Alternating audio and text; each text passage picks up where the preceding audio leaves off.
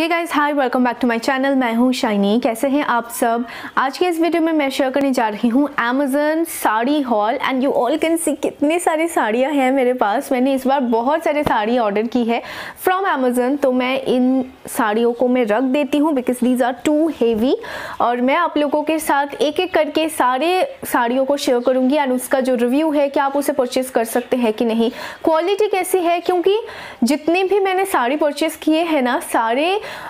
Five hundred rupees के अंदर है। So this is so budget friendly and क्या आप इस तरीके के साड़ी को खरीद कर सकते हैं कि नहीं? क्वालिटी कैसी होगी? तो ये वीडियो आप सबके लिए बहुत ज़्यादा हेल्पफुल होने वाली है। वेडिंग सीज़न इज़ हियर और वेडिंग सीज़न में साड़ी तो हम पहनते ही है। डिस्क्रिप्शन बॉक्स पर मैंने सारे साड़ियों के परचेजिंग लिंक्स इंडिविजुअल लिंक्स भी प्रोवाइड किया है और एक माई हॉल स्टोर का लिंक भी प्रोवाइड किया है, जहाँ पर क्लिक करके आप इन सारे प्रोडक्ट्स को एक साथ परचेज भी कर सकते हैं, उन्हें चेकआउट भी कर सकते हैं। वो काफ़ी कन्वीनियंट रहता है by the way. So chaliye without wasting any time let's just get into the whole video. पहला जो साड़ी है वो सैटिन का है एंड ये आजकल बहुत ट्रेंड में है। इस तरीके की सॉलिड कलर की साड़ी है जो बिल्कुल सैटिन फिनिश में है and the quality is so amazing मैंने एक्सपेक्ट ही नहीं किया था कि इसकी क्वालिटी इतनी अच्छी होगी एंड एक रिच फैब्रिक है। ये वाला बहुत सॉफ्ट है एंड काफ़ी अच्छी है बट एक जो डिसअपॉइंटिंग फैक्टर मुझे लगी, जो बारह बारह हाथ का जो साड़ी होता है ना, ये बारह हाथ से थोड़ा सा कम है। लिटिल बिट मतलब इलेवन थ्री फोर्थ है इसका लेंथ um, वो थोड़ा सा मुझे डिसअपॉइंटिंग लगा बिकॉज़ आई थॉट कि ये बारह हाथ जो हम लोग काउंट करते हैं ना तो वैसा ही होगा। बट इसका लेंथ थोड़ा सा छोटा है। Nevertheless price point of view से I think this is amazing और इसके जो साइड्स है ना ये कुछ बड़ा कपड़ा था मीटर का कपड़ा जिसको कट करके दिया है उन्होंने। ऐसा मुझे लगा बिकॉज़ इसके दो, दोनों साइड्स पर ही uh, कुछ सिलाई वगैरह नहीं किया था एंड ऐसे थ्रेड्स निकल आ रहे हैं तो मुझे ये खुद से सिलाई करना पड़ेगा। And also I have thought कि मैं इसमें जब खुद से सिलाई करूँगी ना तो कुछ मैं लेस या फिर कुछ डीआईवाई करके कुछ इंटरेस्टिंग सा पॉम पॉम वगैरह कुछ लगाऊँगी ताकि जब पल्लू पल्लू के नीचे जब वो पॉम पॉम वगैरह रहेगा ना तो और भी खूबसूरत एंड एक डिज़ाइनर लुक इसको मिलेगी। इसका जो कलर है वो मुझे काफ़ी प्रिटी लगा।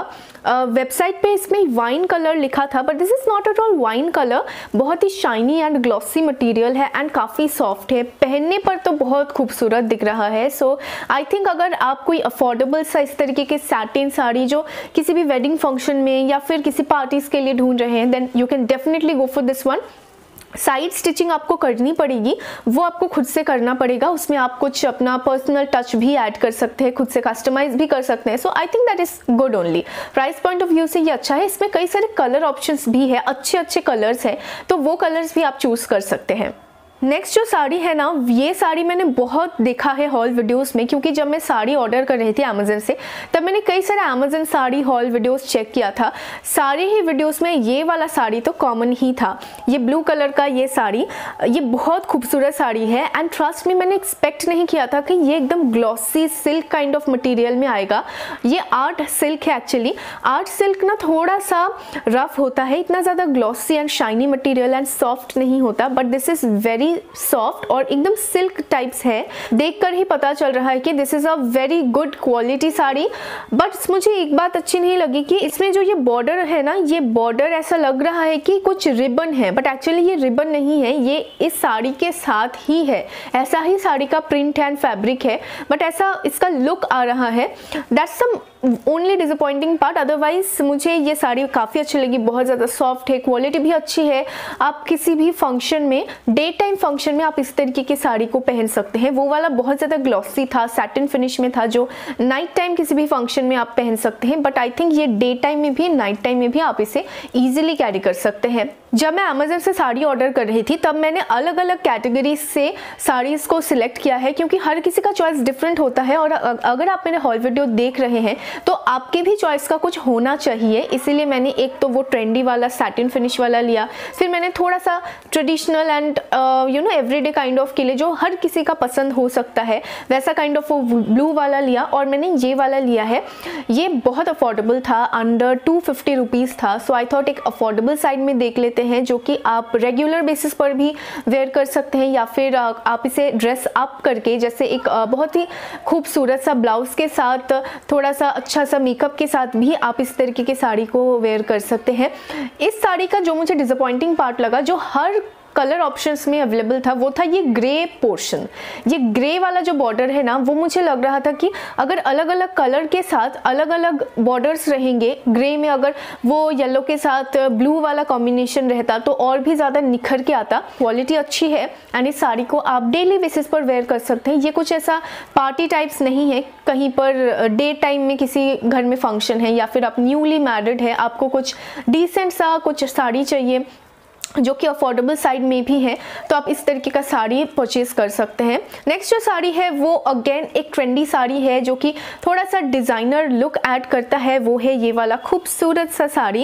ये इसमें ना इस तरीके के फ्लेयर्स हैं, जहाँ से पल्लू स्टार्ट हो रही है, वहाँ पर आपको इस तरीके के डिज़ाइन मिल रही है, जो कि फेक मिरर है आर्टिफिशियल मिरर है, ये ओरिजिनल मिरर नहीं है आर्टिफिशियल मिरर वर्क है इसमें। तो वो भी एक अच्छी पार्ट है। मुझे अच्छा लगा ये sari and price point of view से I think this is a very good sari. मैंने मरून कलर सिलेक्ट किया है but there a lot of option तो आप किसी भी कलर सिलेक्ट कर सकते हैं।